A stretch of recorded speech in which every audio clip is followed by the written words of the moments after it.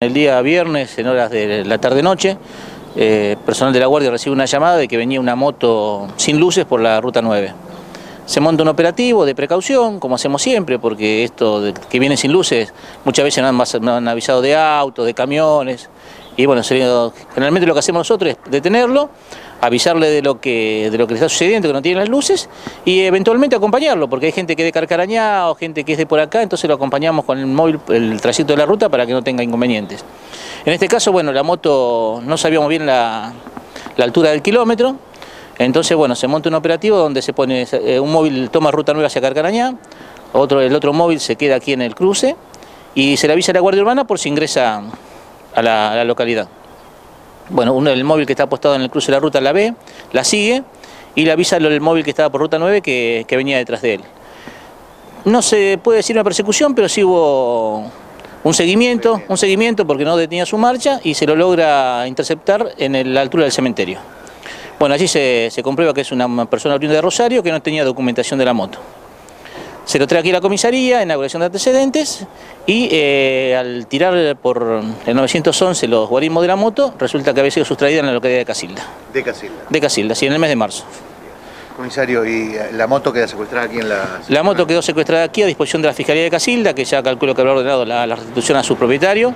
No tiene los guarismos adulterados, ni número de cuadro, ni de motor, así que supongo se la van a entregar sin inconvenientes. Y la persona fue demorada y, bueno, eh, procesada por encubrimiento a disposición de la Fiscalía de San Lorenzo. ¿Antecedentes de esta persona? Tenía un par de antecedentes por, por hechos de violencia, así es una persona oriunda de la zona rural de Rosario. ¿Mayor? Mayor, de edad, mayor de edad. Si bien, o sea, vive en Rosario, es oriunda de la provincia de Buenos Aires, así que no es tampoco de aquella localidad. ¿Y qué, qué, adujo? ¿Que la había comprado? En un primer momento dijo que era iba hasta Cañada de Gómez, que la moto era de su hermana, que tenía los papeles allá, bueno o sea, siempre son circunstancias que van diciendo, pero uno siempre desconfía, ¿no es cierto?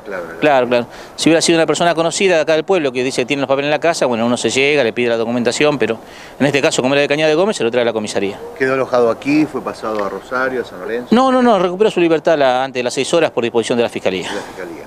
Así que ahora esperando entonces para entregarse a la... Sí, sí, estamos esperando que venga la gente de, Casilda para entregarle la moto y ellos se la entregarán a su titular. Bien, eh, Hugo, bueno, aprovechamos también eh, ayer elecciones, conocer un poco cómo estuvo aquí San Jerónimo, cómo este, estuvo el, tema de eh, lo que tiene que ver con el el operativo que se lleva a través de la policía a nivel local. Sí, nosotros, o sea, si bien el operativo arranca a las 7 de la mañana, es la custodia externa de los, de los locales de, las escuelas, que en este caso son dos aquí en San Jerónimo.